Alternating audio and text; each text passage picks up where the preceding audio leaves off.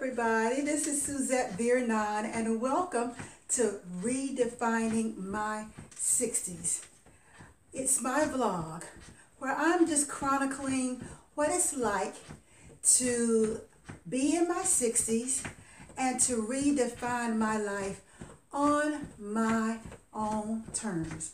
Now, I want you to like, share, subscribe, because if you are in your 60s as well and you have been looking for a channel, something on social media where somebody who looks like you in their 60s talking about the things that truly matter in this decade of your life, then you are in the right place.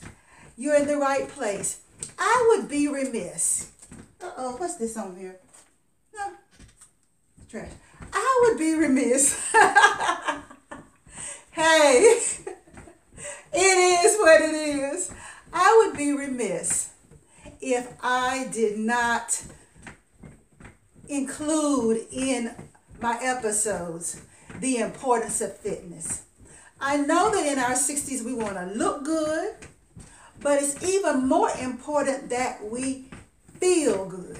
Because it doesn't do any good to be all dressed to the nines and then you just you feel terrible. You don't have energy, you can't climb the steps, your knees are hurting, your shoulders are hurting, all these different things that can happen when you're in your 60s. I'm going to go into a little bit more of it in some future episodes. But I wanted you to just see that exercising is very, very important. Now, right now, I'm on what they call a rebounder. Some people call it a mini trampoline. And what I like about it is you can kind of move on this and it doesn't hurt anything because there's buoyancy underneath your feet.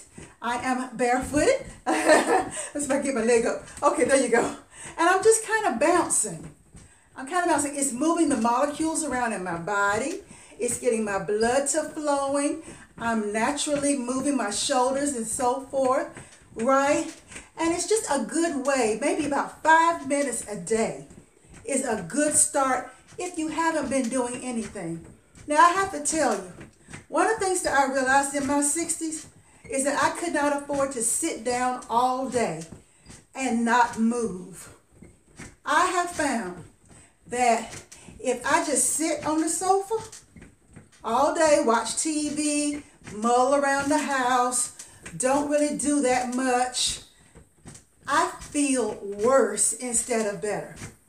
And it was really a surprise to me because I used to could do that. I used to kind of could sit around, you know, work from home, not have to get up and move that much except for to go get a snack or two or whatever. But I would work from home all day and sometimes I'd forget to eat because I was so involved in what I was doing on that darn computer, y'all. But now that I'm retired, oh my goodness, I'm beginning to find out, no, let me add, retired and in my 60s. That's important. I have come to find out that I cannot afford to just sit. Now, one of the things I used to do is I would go to line dancing on Tuesdays, Wednesdays, maybe go on Thursdays. Mm, you know, it just depended. And what would happen is Thursdays, Fridays, Saturdays, and Sundays, I wasn't really exercising. And then Mondays, right, I wasn't really exercising. And I started noticing on those days consecutively when I was not moving, I wasn't exercising, I wasn't walking, I wasn't lifting weights, I wasn't doing anything, guess what would happen? My neck would ache, my shoulders would ache, my lower back would ache, my knees would ache. And I'm like, well, what in the world? I haven't really done anything to cause myself to have all this kind of pain. And that was the issue. I had not done anything.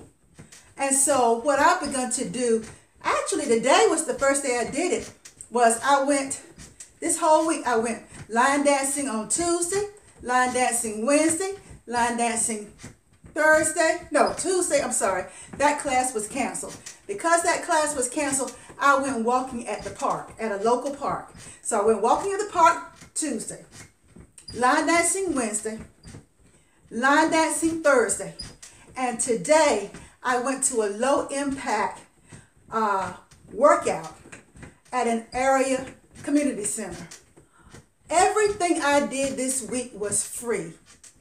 The only thing that it required was for me to get up, get dressed, and go. And I did it today.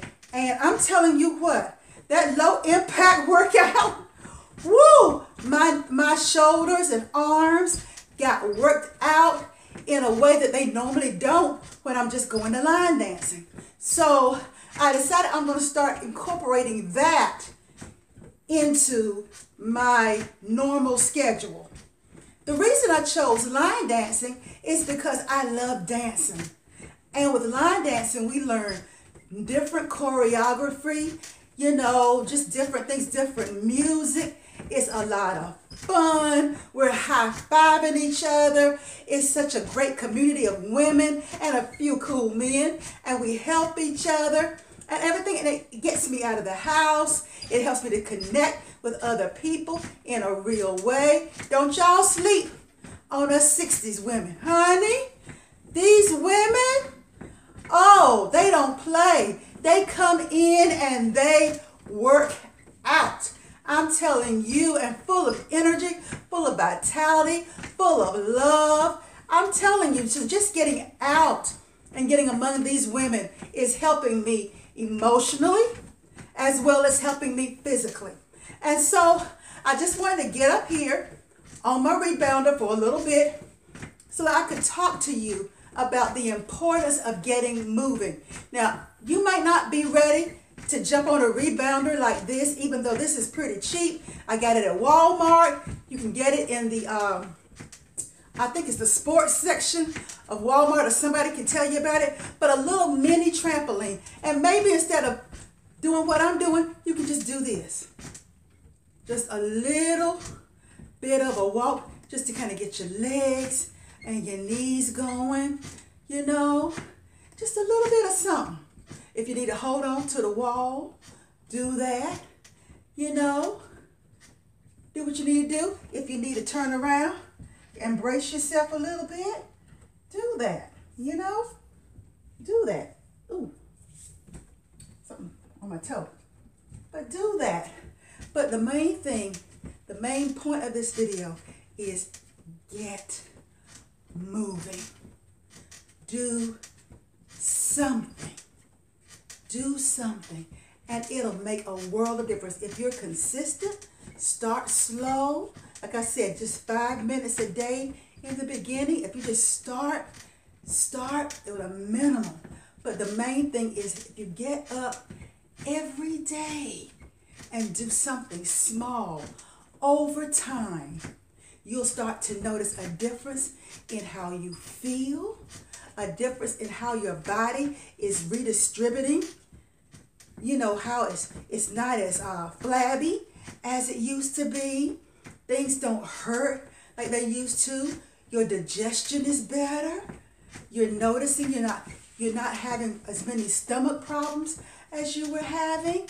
You'll notice that the circulation that you're breathing gets better, which is really important to take those deep breaths in and blow them out and to tighten up your core to tighten these core muscles while you're, you're doing what you're doing, and you'll start to notice that your body feels better, your body looks better, and you have more energy. Okay? So let's get moving, ladies. Let's get moving.